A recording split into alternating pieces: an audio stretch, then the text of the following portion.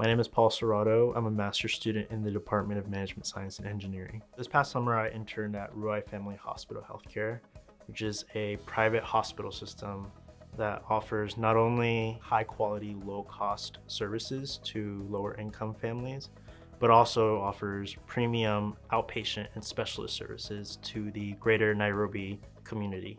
Kenya has universal health coverage that provides public insurance to all of its citizens.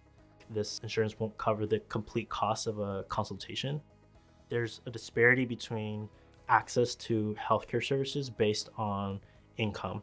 And so being part of an organization that specifically tailors to lower income families was particularly important and also particularly challenging because these populations are the ones who often need the care the most but are unable to afford them.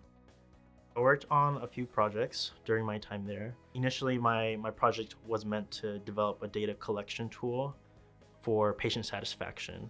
During the time of my internship, Ruai Family Hospital was in a period of expansion, and during this expansion, they really wanted to know how patients felt about their services. Coming in, I had to develop a tool, a surveying tool that would allow them to not only collect the data, but also store the data and analyze the data so that they can make better informed decisions about how to best serve their patients.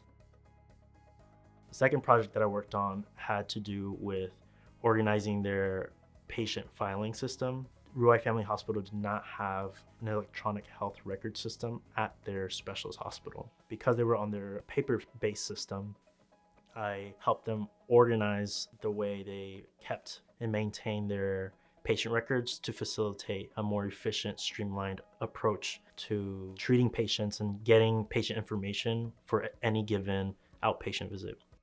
Towards the end of the internship, uh, Ruai Family Hospital, Specialist Hospital, was able to transition to an electronic health record system.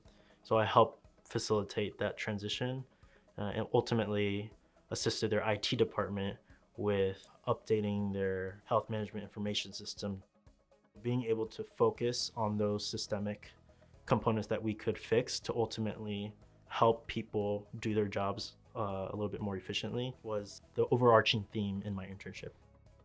Uh, the working environment at Ruai was very friendly, very collaborative. And the part that most left a lasting impression on me was the fact that they really considered and really listened to my opinions and my kind of analysis of, the, of, of their existing system. And the fact that they were able to do that distinguished it from, I guess, a lot of the healthcare systems here in the US. Here, it's very difficult to get access to the different levels of the organization and hospital organizations being able to travel abroad and work and live in Kenya impacted me very much so personally because it really highlighted the privilege that I have being able to get an education and have this experience from Stanford to, to travel to this other other country and learn and, and grow within this context.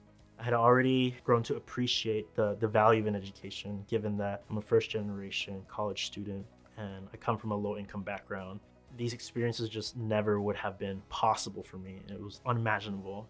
And so being in the space just made it that much more more real and more made me appreciate it a lot more. So one of the best trips that I had during in Kenya was a trip to Mount Suswa, which is this volcano. And it was really amazing because we got a chance to go camping there overnight. And during the night, you could hear like the baboons in the distance. And it turns out like there's a cave that where all the baboons kind of all congregate. Uh, they call it like the baboon parliament. We actually had a guide who took us deep inside the cave. It was like pitch dark at this point, so you couldn't see anything. There were like spiders like crawling all over the place.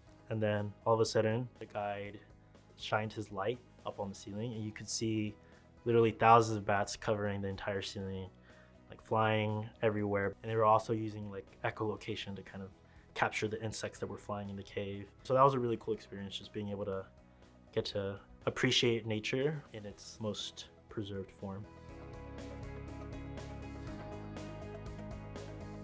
This internship experience helped me understand the universality of some of the problems that healthcare systems have in common. And so in Kenya, one of the key issues that they have right now is very long patient waiting times.